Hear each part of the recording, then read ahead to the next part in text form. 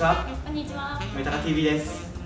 最近ねちょっと涼しくなってきて秋っぽさも出てきたかなと思うんですけど、うん。秋といえば何を思いますかね？私は芸術の秋とスポーツの秋ですね。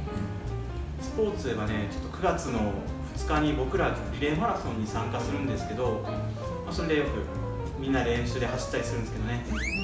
どうしてもこの腰回りとか結構張ってきてね気になるんで、まあ、皆さんにも今日は腰回りお尻のストレッチを紹介しようと思いますはい。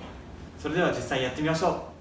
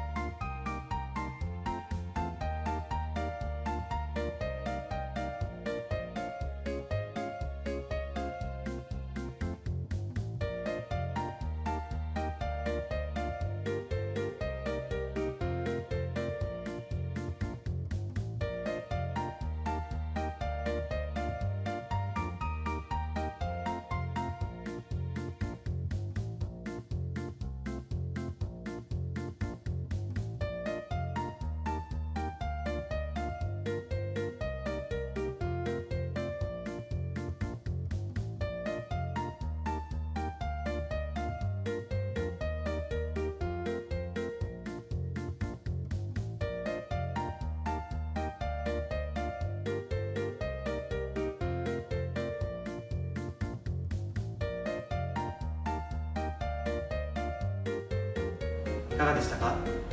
スポーツやった後ねしっかりと体をケアして怪我のないようにスポーツ楽しみましょう。はい。